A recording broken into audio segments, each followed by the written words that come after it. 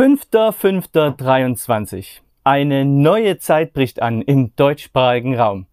Das Ende des Märchens von der buchstäblichen Bewahrung des Korans. Es war die Bewahrung des Korans. Das heißt, der Koran ist unverfälscht und original. Genauso eins zu eins wie vor 1400 Jahren. Wir haben immer gesagt, der Koran ist Strich für Strich, Wort für Wort und so weiter gleich.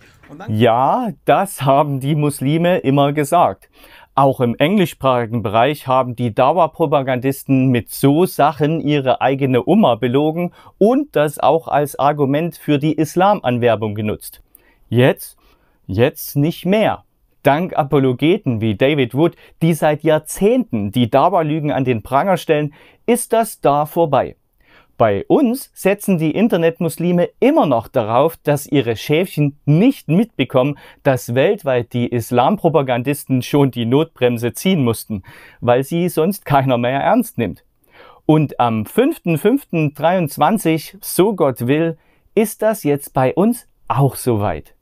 Manche Muslime machen sich schon Sorgen und wollen am liebsten Shabir Ali aus Kanada anheuern, einen der weltweit besten Islamapologeten. Lieber Kasim, weißt du, das Problem ist nicht der Hamdi. Das Problem sind die Korane.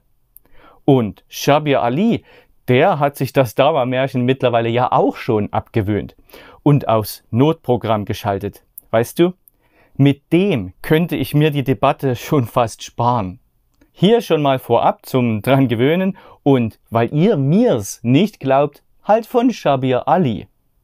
Das sägt an der Selbstzufriedenheit, mit der viele Muslime umhergegangen sind und gedacht haben, dass, okay, weißt du, alles wurde bewahrt, Punkt für Punkt, Buchstabe für Buchstabe, so wie es dem Propheten Mohammed, Friede sei auf ihm, offenbart wurde, völlig ohne Abweichung oder Veränderung. Weißt du, dass, dass es sägt an dieser allgemeinen Sicht, die tatsächlich keine gelehrte Weise ist, über den Koran zu denken. Unsere Gelehrten haben immer gewusst und immer beschrieben in unseren klassischen Büchern Variationen in Manuskripten, wie, weißt du, wie es ist, wird so gelesen von Ubay ibn Kab, es wird so gelesen von Ibn Masud und so weiter. Im Kodex von Ibn Masud, es scheint so geschrieben gewesen zu sein. Im Kodex von Ibn, äh, Ubay ibn Kab schien geschrieben, es schien geschrieben zu sein mit dieser oder jener Abweichung.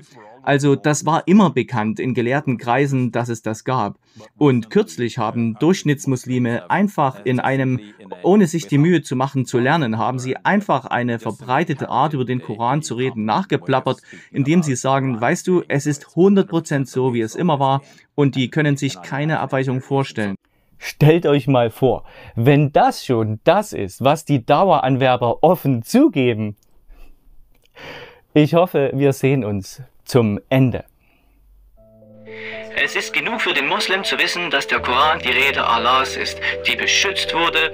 Wir sagen, der Koran ist fehlerfrei. Wir haben immer gesagt, der Koran ist Strich für Strich, Wort für Wort und so weiter gleich. Keine Harmonisierungen, keine Veränderungen. Uns ist nichts bekannt.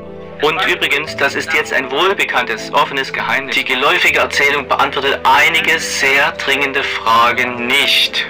Wir stellen diese Fragen und tauchen tief in die islamischen Quellen ein. Wenn du tief eintauchst, werden die Dinge sehr, sehr unbequem und schwierig.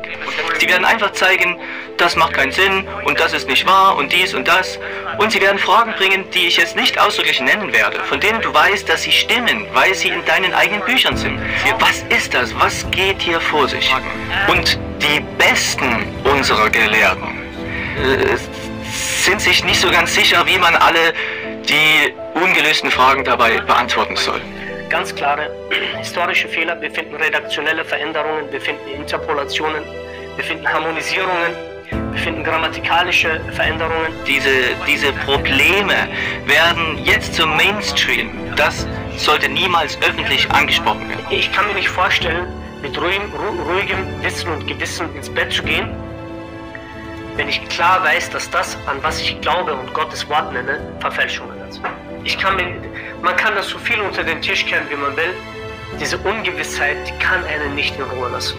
Ja. Und das bis, bis zum Grab wird das einen nicht in Ruhe lassen können.